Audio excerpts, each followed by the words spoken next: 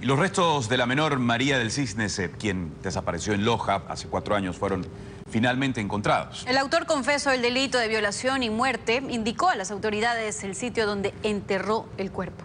Nuestro corresponsal Carlos Andrade tiene el informe. Los 11 días de intensa búsqueda arrojaron resultados la tarde de este martes, pues las autoridades encontraron los restos de la pequeña María del Cisne C, desaparecida hace cuatro años. El autor confeso del rapto, violación y muerte de la menor contó a la fiscalía dónde enterró el cuerpo en este cerro del sector Salapa al norte de la ciudad. Luego de verificar la zona y con la ayuda de canes especializados, la fiscal Bella Castillo, quien investigó el caso, informó detalles del hallazgo de los restos. Las osamentas eh, concuerdan con características externas que están además eh, siendo encontrados por los datos que fueron aportados por el autor confeso. La Fiscalía procederá en adelante a realizar pruebas científicas, fundamentalmente de ADN.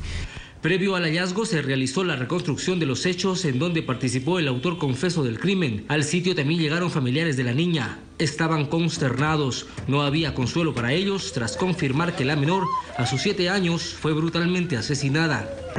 Según las autoridades, desde esta esquina desapareció María del Cisne en enero de 2014. Este caso tendría relación con una red de pornografía infantil transnacional desarticulada en marzo de este año pues dos de los procesados le confesaron a las autoridades que en los celulares decomisados habían fotos de la menor. Según las investigaciones, esta banda también está detrás del asesinato de la pequeña Emilia Benavides, cuyo cuerpo apareció en medio de una quebrada en diciembre pasado. La fiscal indicó que continuará con las investigaciones de otros sospechosos y recalcó que buscan frenar este tipo de delitos que atentan contra los menores de edad. No a la impunidad y las personas que cometen este tipo de delitos van a recibir su castigo y la Fiscalía tendrá cero tolerancia al respecto. En tanto, un equipo de ayuda psicológica y médica de la Fiscalía asiste a los familiares de la pequeña María del Cisne, quienes finalmente podrán sepultar sus restos tras vivir cuatro años de angustia e incertidumbre.